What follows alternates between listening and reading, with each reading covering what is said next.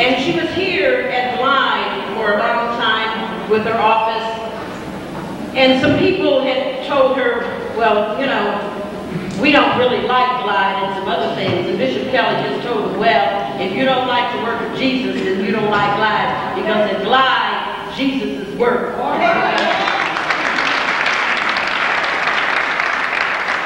I remember when she first came, they held a press conference, and Cecil this is my boss. And they asked Bishop, well, what are you going to do with him? She said, I didn't come here to do anything with him. I came here to assist him so that he can continue doing his work. I'm not here to tell. She comes from a long family of preachers. Her father was a preacher, her brother was a preacher, and her late husband was a preacher. And this is how she got into preaching because she was formerly a history teacher. But the church asked her after her husband passed to take over. So she went into preaching. She went to the seminary, and when she got there, they said, oh, we got something here.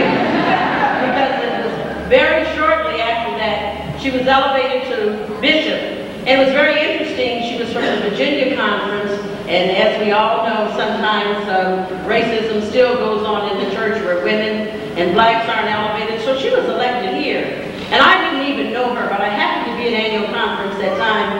And boy, the women were running around Mr. Kelly. And her mother was ill at that time. And she wasn't even to be there, but because of her qualifications, her work, and her love for the Word of God, she was elected bishop at that time. So at this time, I could tell you many more things about her and her work, but I need not. I would like to introduce you Bishop Leontine C.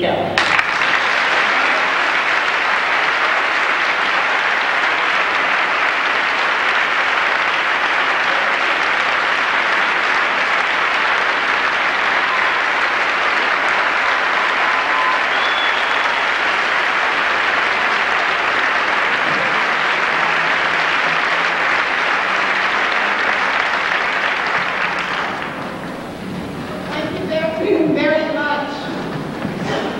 Cecil doesn't give up his pulpit easily.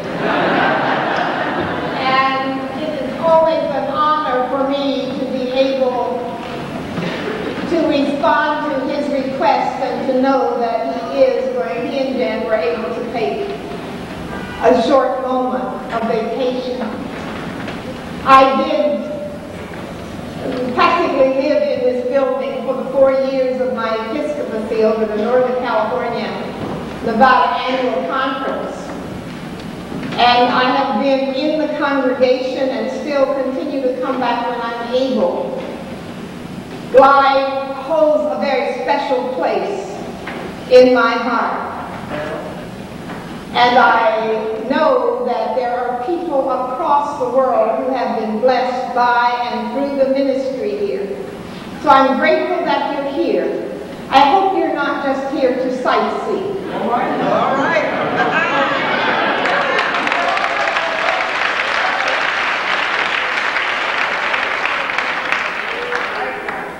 While Glide holds a special place in tourism, we are here to worship. And the very purpose of Glide Church is to worship, not merely in word, but in deed. And it's in the acts that take place through the individuals who volunteer here and who work through Glide that the word itself becomes reality in the midst of the community. And so I'm grateful to be a part of this ministry, will you listen with me to the word of the Lord as it is recorded in the readings for today? From the Hebrew scripture, I read the fourth psalm. And the writer of the psalm talks to God as if God is close as breathing, which indeed God is. It is a magnificent and awesome thing to understand that God who not created all that, not only created all that is, but is accessible to us as individuals and is there for us. The psalmist cries, Answer me when I call, O God of my right. You gave me room when I was in distress. Be gracious unto me and hear my prayer. How long, you people, shall say honor suffers shame? How long will you love vain words and seek after lies? But know that the Lord has set apart the faithful for God. The Lord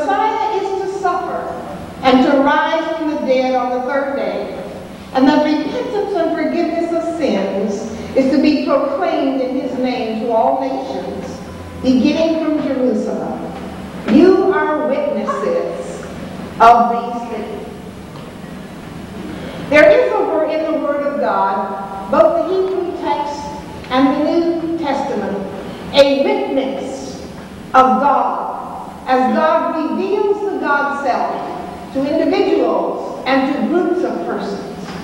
There is that understanding of faith in the God who created all things in harmony and wholeness and peace that is still best expressed in the Hebrew understanding of shalom. This God, this great God, is still accessible to the psalmist, as I say. And here the psalmist cries out, will we ever see good again? There's that kind of understanding as we witness in the kind of world in which we live. So much of wrong all over the world. One thing follows another and natural disasters are added to that dilemma. Someone said recently in my hearing, why doesn't God do something about this? Why does God let things like this happen? And I have to remind them that God created the human creature in the same shalom as the rest of the balance of the earth. But God created the human creature with the ability to choose. It is not God's choice that the world be as it is. It is that we as human have chosen to hate rather than to love, have chosen injustice rather than justice, have chosen deprivation of people rather than sharing inequality and equity, has chosen racism as opposed to understanding that everyone is a child of God,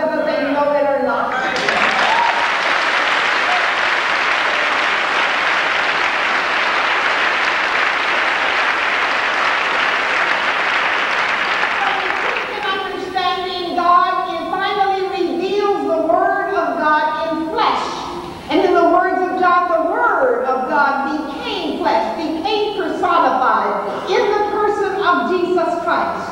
And dwelt in the midst, even Jesus had choice. In the garden, Jesus struggled with his own humanity, and we know the final word of submission to the will of God as he saw it by saying, nevertheless, not my will, but your will right. be done.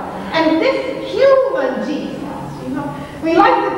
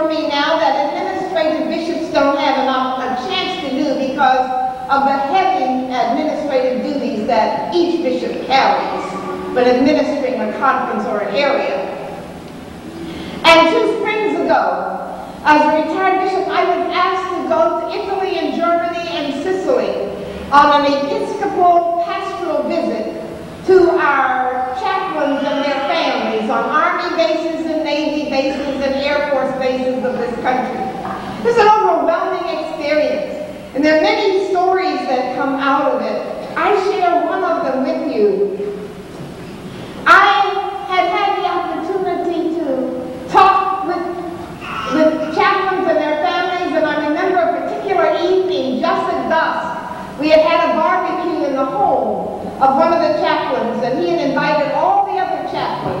of other denominations and even interfaith groups to come. It's interesting to me that other than why, there are very few places other than in the armed faith forces where people worship together across all kinds of lines. Now, it doesn't seem to me that that should be so. Uh,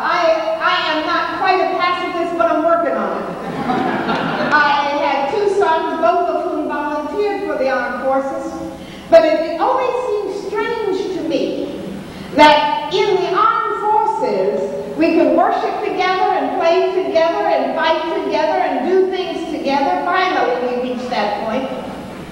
And that in the armed forces, we have available to military people education for their children, decent housing, psychological services, health services, social services, all that it takes to make balance And why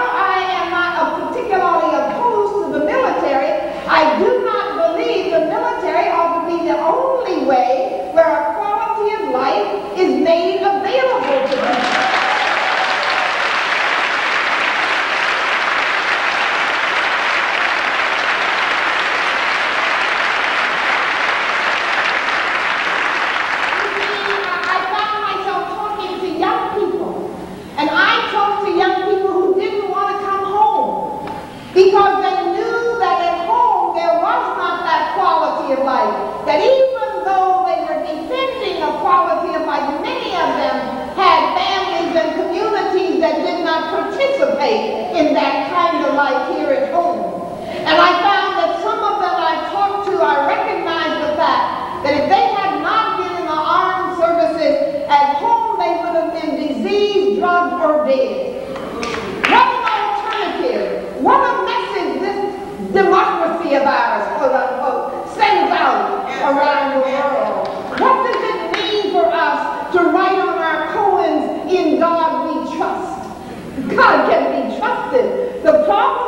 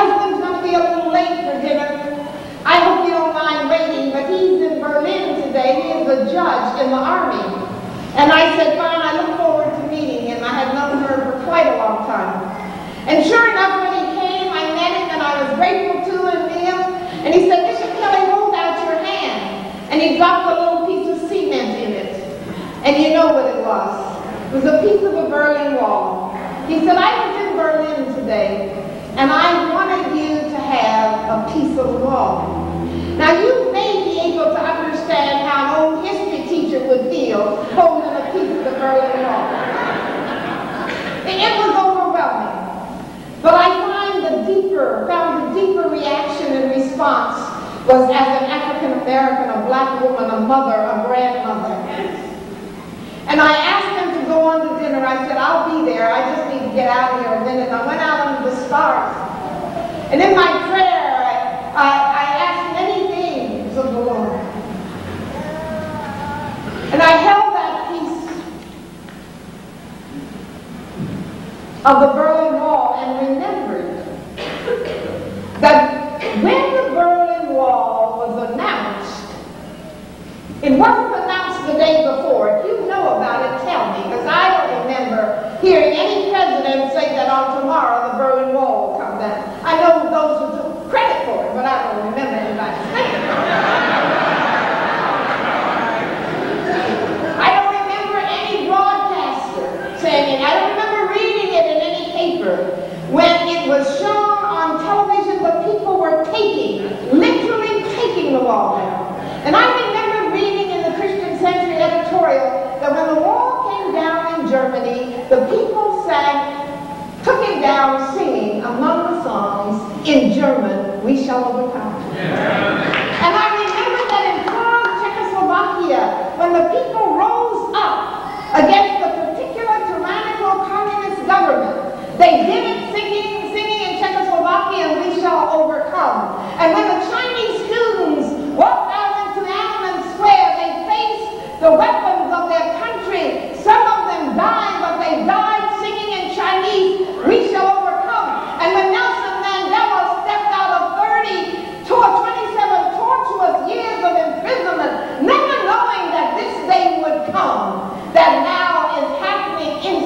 Africa when he left the prison, black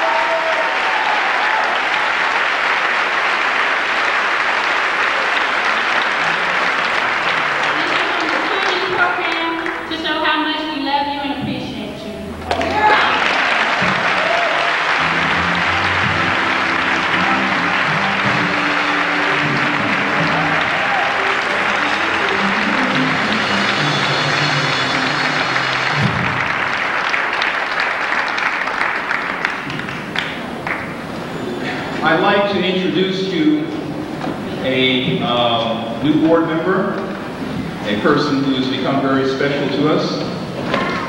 Amy? Amy Everett. Give her a hand.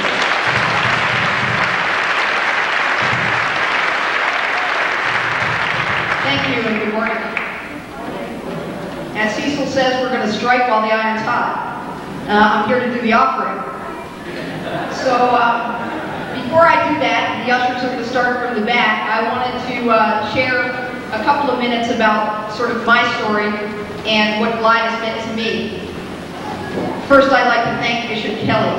That was, uh, I was here at the 9 o'clock, and uh, it was incredibly moving. Uh, I didn't think it could be more moving, but the 11 o'clock seemed to, uh, to be more moving than the 9. Um, I have to go home and take a nap. um, I came to Glide three years ago. Um, and what I can say is that I grew up in a family where religion was not important. In fact, religion was something that other people did. So we didn't do religion. And um, I came sort of kicking and screaming into life and was brought um, by a friend who said, you have to see this, it's really cool. It's not like religion. they were right. Um, and um, I came in here and in the first 10 minutes of being in Glide, um, I wanted to know where you went to join and become part of the Glide family. And that's what I did, and I've gone on to be involved in the Glide family, uh, both on a volunteer basis as well as on the board of Glide. And it has truly changed my life in a number of ways.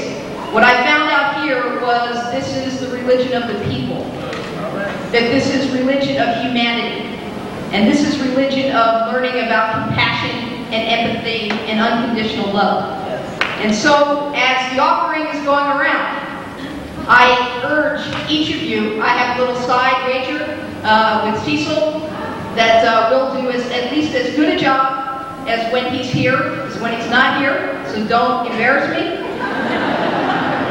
But um, I would urge each of you to uh, reach deep into your hearts and to help us support that unconditional love and that empathy and the beliefs that Cecil talks about, the beliefs that Bishop Kelly's talked about, and the beliefs that we all live here as part of the community. So thank you very much. Um, we look forward to your offering. A couple of other administrative announcements today. After the celebration, please join us in Freedom Hall, where you will find tapes of today's wonderful celebration, t-shirts with Glide sayings, tapes and CDs of the wonderful, famous Glide Ensemble, a selection of Glide videos, and very special books. Let me just tell you about a couple of them. Cecil's book, No Hiding Place. I've read it. It's terrific. I urge each of you. It's out in paperback now. Please pick up a copy. New book where Glide family members are speaking out about incest and abuse. It's called Watch Out, We're Talking. I've also read that book. It's incredible. I urge you to get a copy. Jan's book of poetry, Shedding Silences, and also there's a Glide's children book, I Have Something to Say About This Big Trouble. I urge you to come down to Celebration Hall and join us there. Two other special announcements. The relationship group meets the second and fourth Tuesday of every month. You're all welcome to come to that. And here's one that I think is quite interesting. I like this one, that the men are needed to serve food on Mother's Day.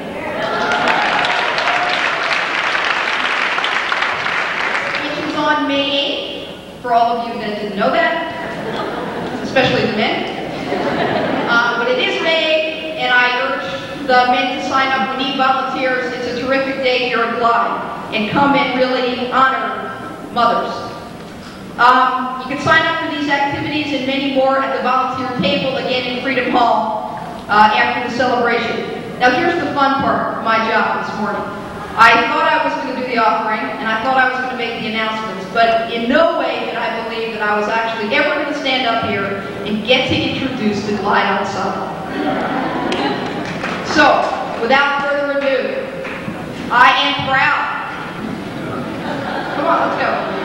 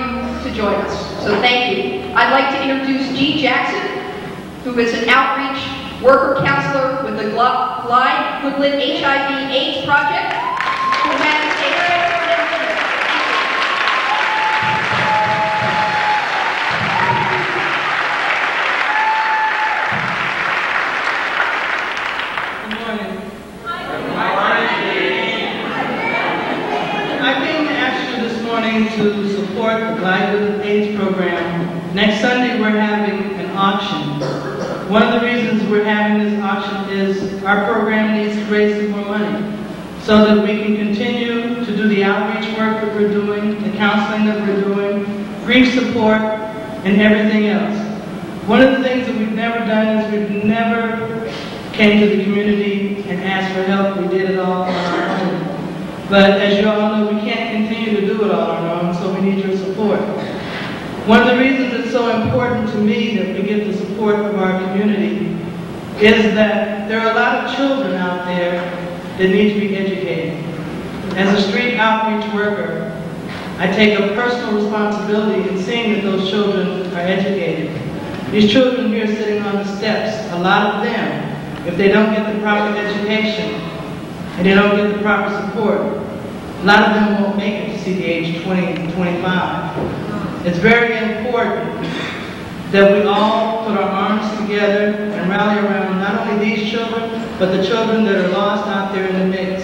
And that's one of the things that makes my job so important as a street outreach worker and counselor. With your support, our organization will be able to continue to do the work that it's doing. Just to give you a brief idea of some of the things that we're going to have in, in the auction, there's an autographed t-shirt from Jerry Rice of the 49ers. Also a round-trip ticket from, uh, for two from Reno Air to anywhere the Reno Air flies. And a lot of people laugh about where Reno Air flies. But let's stop and think about the fact that Reno Air did try to do what they could to help our program.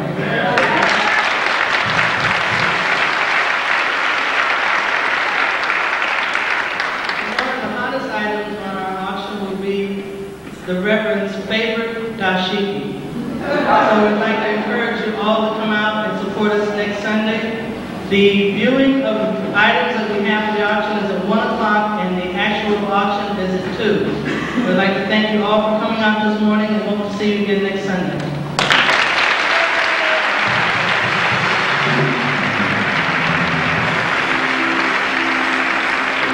Please, we shall overcome.